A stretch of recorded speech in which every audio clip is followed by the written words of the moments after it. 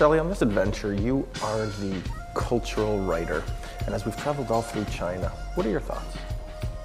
Well, I've been surprised by how modern almost everywhere we've gone in China is. And it's been a real mix of the old and the cultural history and the new to me and the modern. So that's been um, surprising and also really, really interesting. What was your biggest surprise being here? The distinguishing differences between each of the cities and how unique each city was. It's incredible how many visit-worthy and traveling-worthy cities there are. We've been in places that are just quintessentially China, where things have not changed in hundreds, if not thousands of years. And some amazing architecture, some of the temples that we've been to, and the historical sites. And then you can be in places where you're walking down the street and you might be in Amsterdam, or you might be in Paris. And uh, that was quite surprising. Uh, I've enjoyed seeing all of that type of architecture. I think even in the last four and five years, China has modernized an incredible amount. Culturally, what, what was your highlight on this trip?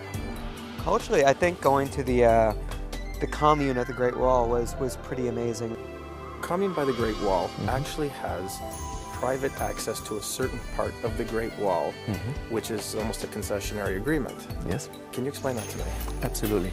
We have basically on property a hidden path, no signage, no nothing, so you really have to find it by yourself or get good advice at reception where exclusively to hotel guests you can walk that hidden path. It would take you about 15 minutes and uh, you would end up on the unrestored, so I'm really the unrestored original part of the Great Wall as it was for many hundred years now.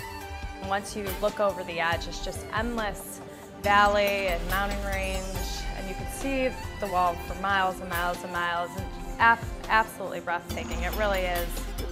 It's one of the few spots in China where I felt I was truly alone. Uh, I don't think many people have that experience to visit a part of the Great Wall that is the same as it was a thousand plus years ago with no one else around and it was a really special experience.